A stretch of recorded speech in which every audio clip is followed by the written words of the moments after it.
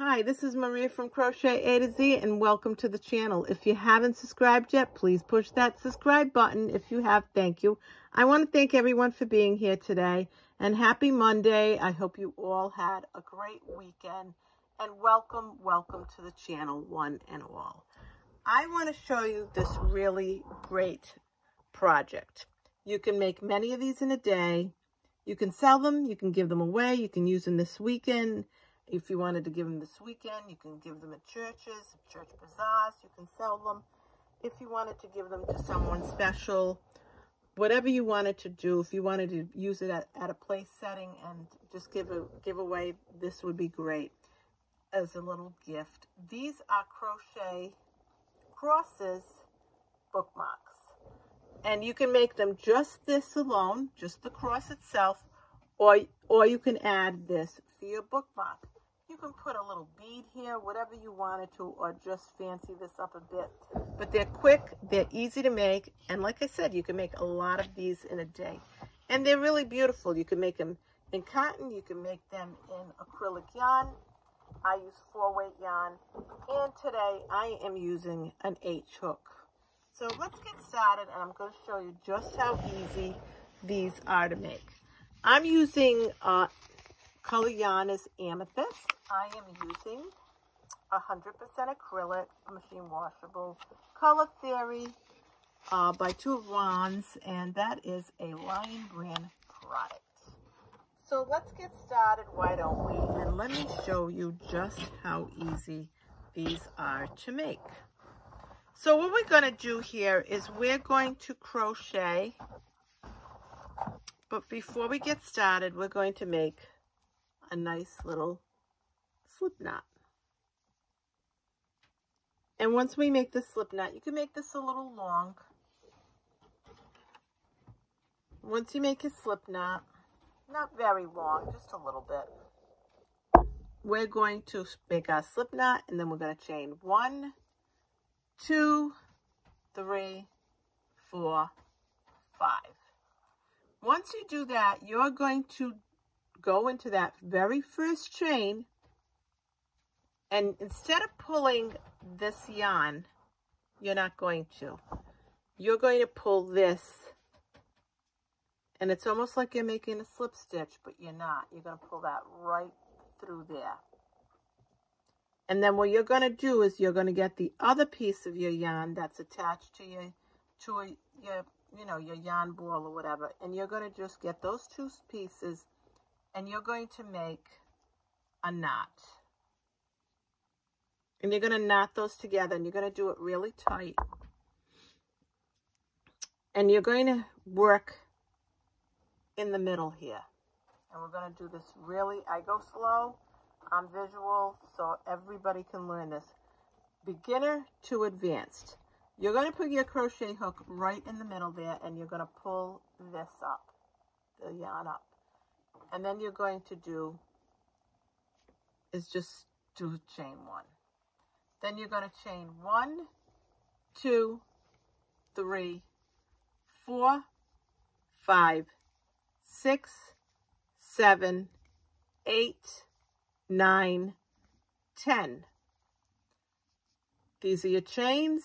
This is your working chain. We're going to take the beginning of this and we're going to go right in the middle here, right in the middle.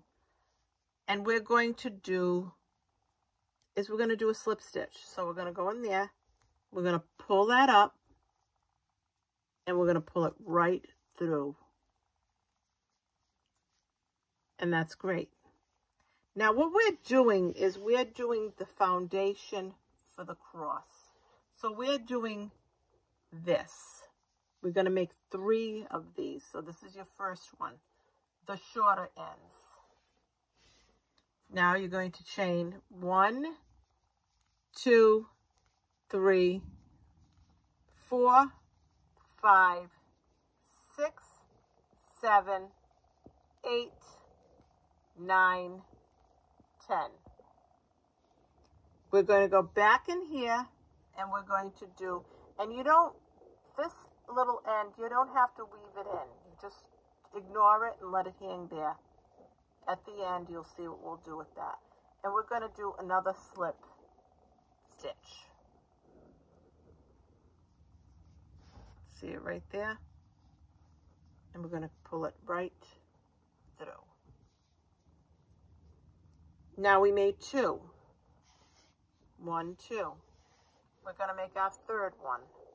One, two, three, four, five, six, seven, eight, nine, ten.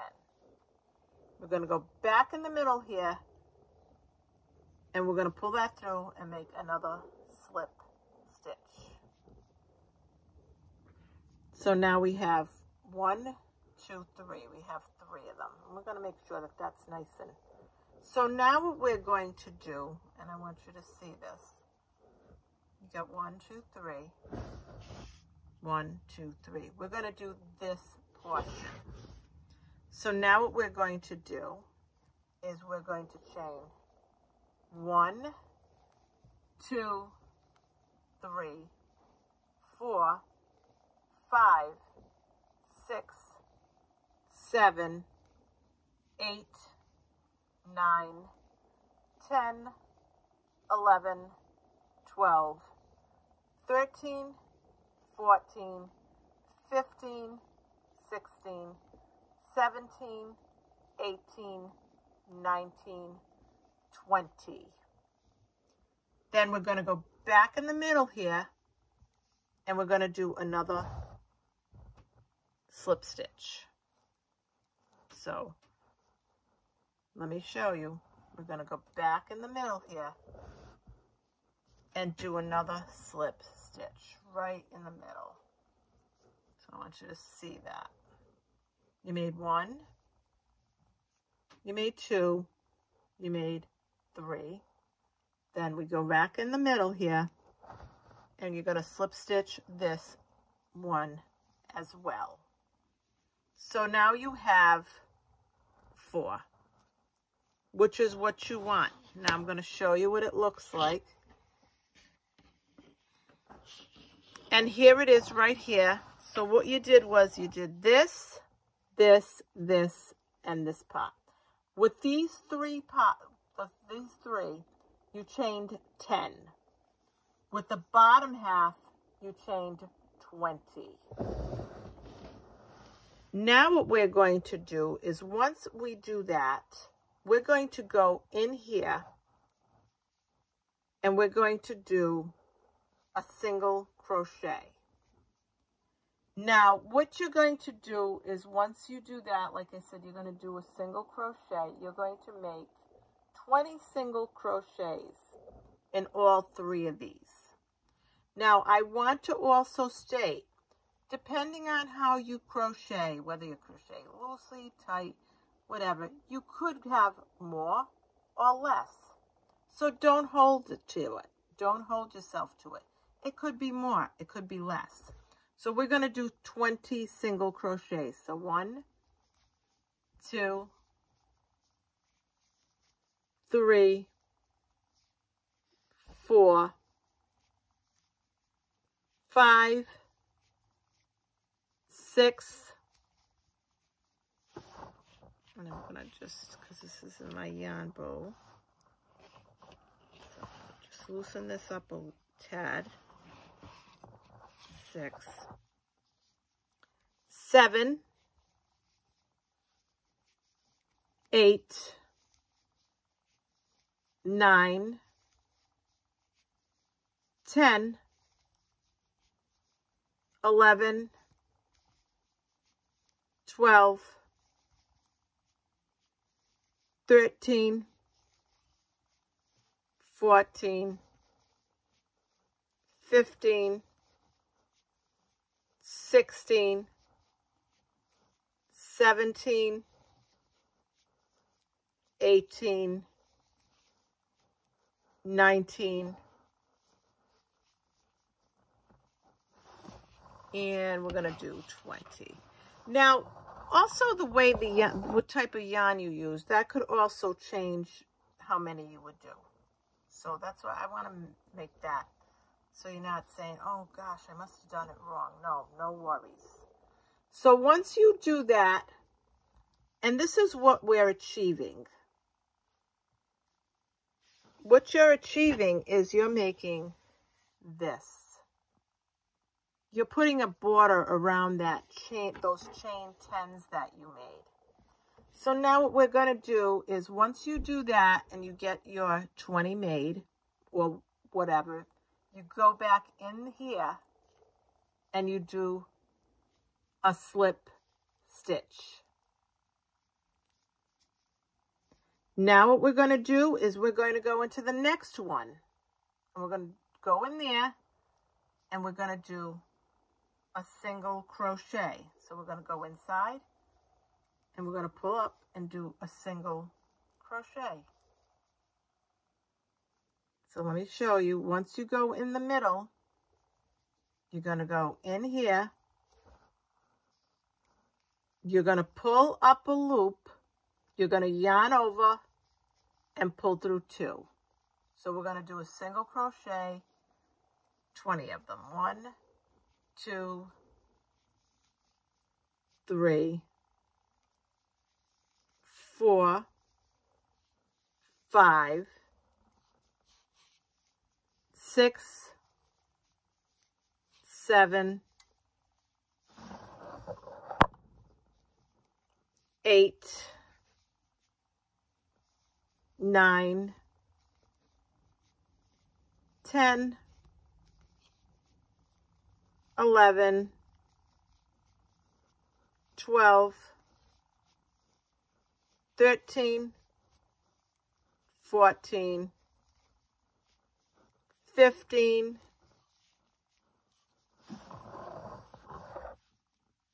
sixteen, seventeen,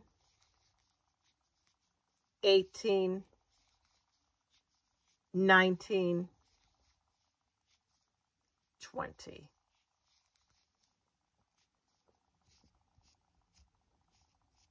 Now, you're going to go back in the middle here, and you're going to do a slip stitch. So now I want to show you, you've done this, you've done this, and now we're going to go to the end. So now we're going to do, in here, we're going to pull up a loop, you're going to yarn over and pull through two.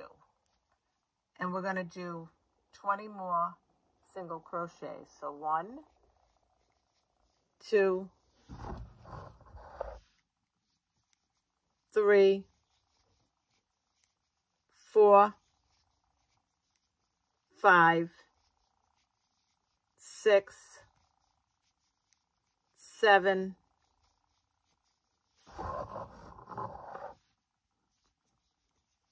eight, nine, ten, eleven, twelve, thirteen, fourteen, fifteen, sixteen, seventeen, eighteen, nineteen, twenty.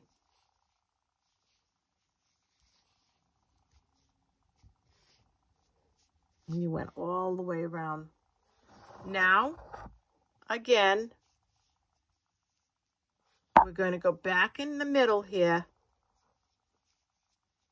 And we're going to just do a slip stitch. So now I want to show you what we've done. We've made these three which is, we use a different color. We've made this. So now, we're going to go into this part, this bottom part. That's where we're at now. So once we did our slip stitch in there, we're going to go in to this last part and we're going to make another go in and we're going to make a single crochet. So we're going to go in, pull up a loop, yarn over, pull through two. So we're going to make 35 of these. Could you have more?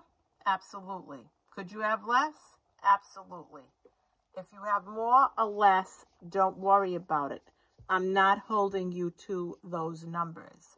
Also, I want to mention, I like mine full.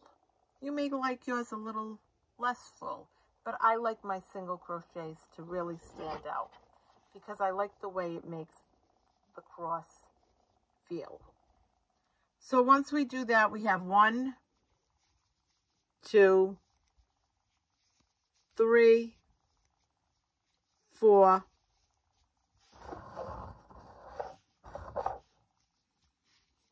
five, six, seven,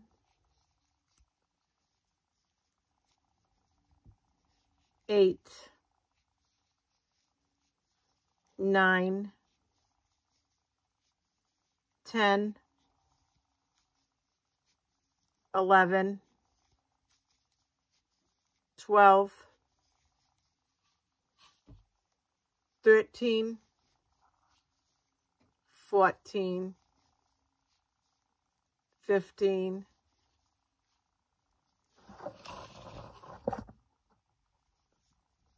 sixteen, seventeen, eighteen, nineteen,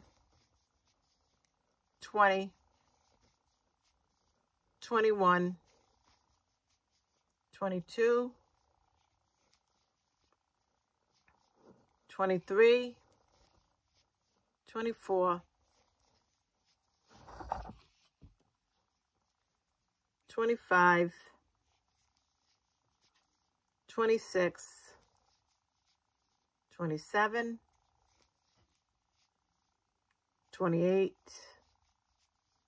twenty-seven,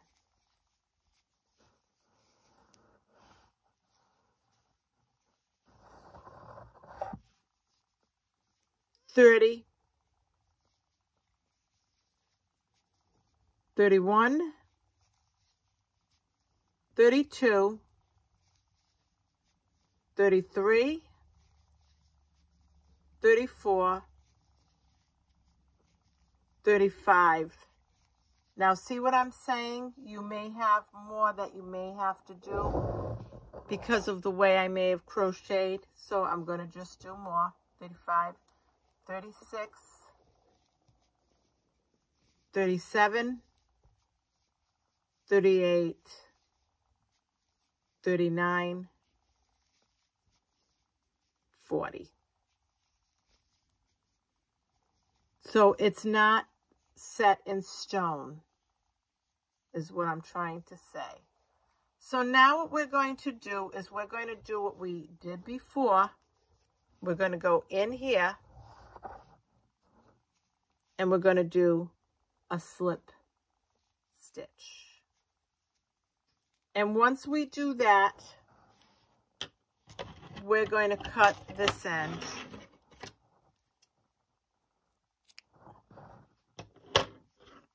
And then we're going to get that. We cut that end. And we're just going to pull this through.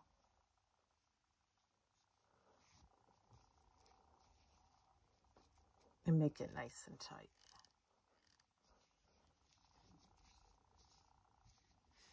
Now I want you to show you that this is what we have. Here is your cross. If once you make this and you didn't want to make the bottom, you don't have to. But we're going to do some tidying up before we move forward. So here's the one that's been in the back here. But we're going to take this one and I'm just going to slip it back here. I'm going to pull it to the back. Because yes, there is a back and a front to this and I'm going to show you. You're going to be able to tell this is your right side. This is your wrong side. And I'm going to put them together so that you can see. This is the wrong side. This is your right side. You see your stitches. This part, you see the intricate of how your stitches are made. So I'm going to pull that up so you can see. Right side, wrong side. So we pull that in the back there. And now what I'm going to do is I'm going to get my trusty little needle. And I love these needles because they have a little bend to them.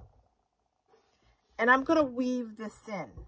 And it honestly, it really doesn't matter which one you grab first. So what's going to happen is you're going to grab this. And you're just going to, we you're going to, and what we're going to do is I'm going to go back in, in here. And we're going to weave this. But we're going to weave this to close this up. So we're going to go along here and we're going to close this up. And we're going to find a spot that we can grab. And we're going to just go along and close up that middle. Because we don't want it, we don't want that hole there. So we're going to go around and you're going to see that it's, see how it's, see how it's going and it's closing it up. We're just going to go around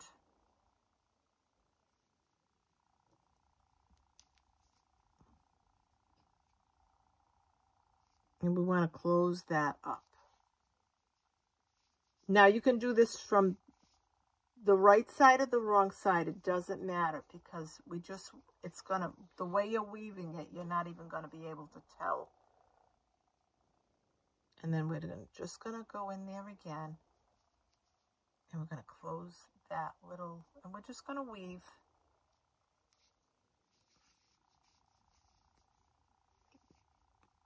See how it's closing?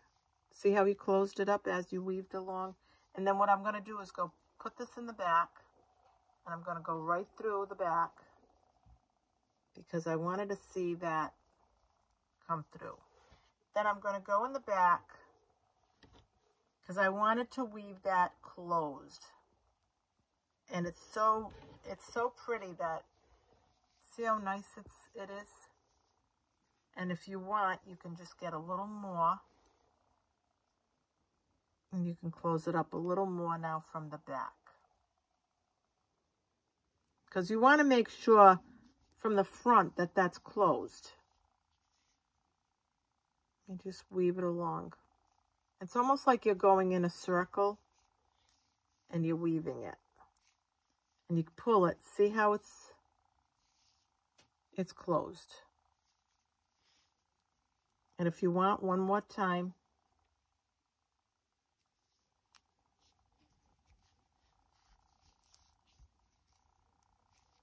let's look. There's no opening. So now I'm going to grab this and I'm going to just weave this around this. Just a little bit, not a lot. And I'm going to pull it through there. And then I'm going to cut this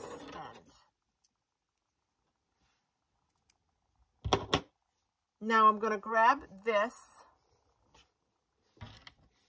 And that's why I said if you leave them a little long, it'll be easier for you to, and I'm going to do this, basically kind of do the same thing with this. I'm going to weave it to the back, in the back. Make sure everything looks closed up.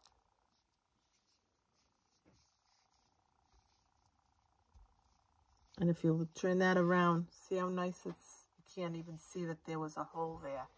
Where you did, it really where you did all your work. And then we're going to weave it up the side here. A little bit, not all the way. And we're going to just do that. And then we're going to cut this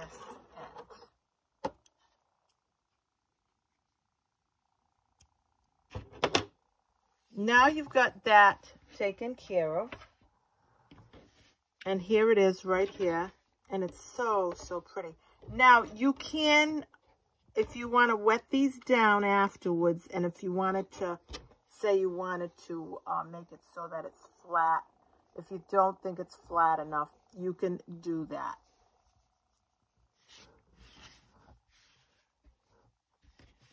And see, I never do because it all shapes up. It looks like it's off, but it really isn't.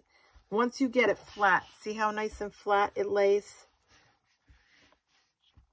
And it's perfect. Now what we're going to do is we're going to make the bookmark pot. So now with the bookmark pot, let's get our end and we're going to make a slip knot just like we did. We're going to make this a little long too. All right, we're going to make our slip knot. And we're going to chain 20. If you want to chain more, you can. So we're going to do one, two, three, four, five, six, seven, eight, nine, ten, eleven, twelve, thirteen, fourteen, fifteen, sixteen, seventeen, eighteen, nineteen, twenty. Once we have 20, we're going to attach this to this. So you're going to, what you're going to do is you're going to look and say, where's my middle? So you're going to kind of gauge and you're going to go in there and you're going to say, okay, that's my middle. And you're going to put that in there and you're going to slip that and pull that through and pull that right through. So now once you do that, you're going to start doing a slip stitch or a single crochet. I prefer the single crochet look. I prefer the single crochet look. You can do either a single, this was a slip stitch, and I wanted to show you both and this was a single crochet. But that's up to you. You can do either or. So I do a single crochet. So what you're going to do now is you're going to do a single crochet or a slip stitch in every chain down. So in every chain, we're going to do either a slip stitch or a single crochet, depending on what you prefer. I'm giving you your option. That's up to you. You may not like the single crochet. That's fine. So we're going to go into every one of these chains and we're going to do that.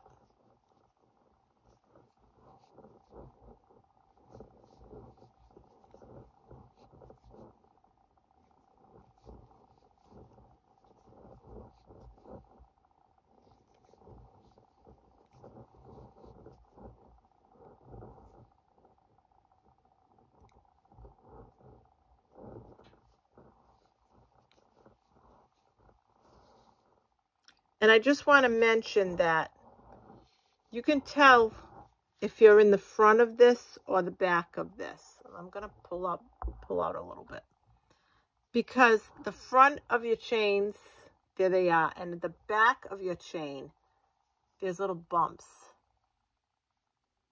So you're doing the front. So we're going to keep doing either the single crochet or a slip stitch, depending on what you like. You try this the slip stitch, and if you like it, you say okay. If you don't, then you change it. And with some yarns, it may look better than with others. That's why you, you have an option. be creative as you like.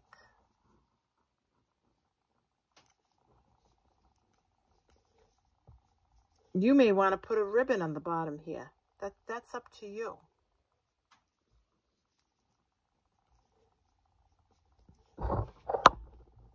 And we go right down to the bottom. And we just do this with every chain stitch that you have. And that's the last chain. Then what we're going to do is once we get to the last one, we're going to make this long, as long as the one that's already there. And we're going to pull this through.